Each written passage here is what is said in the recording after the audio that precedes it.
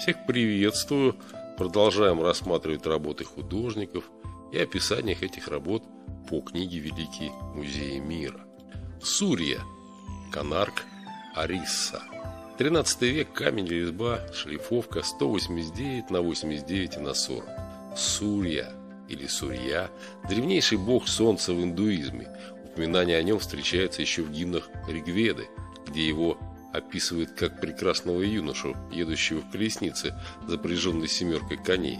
Считается, что иконография Сурии начала формироваться в индуистском искусстве еще на рубеже нашей эры, а в средние века достигла расцвета.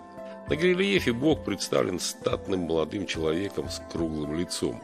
На голове у него высокая корона. Киритамукутта. Локоны прически спадают на плечи.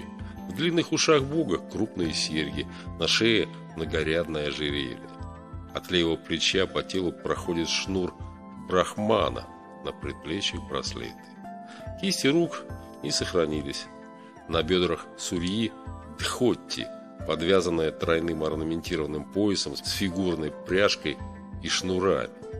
В оформлении практически всех украшений бога встречается морда чудовища – киртмукхи – Отличительной особенностью его одеяния являются высокие сапоги, отсутствующие в костюмах других индуистских богов. Сурья изображен стоящим запряженной колесницы. Управляет конями возница Аруна.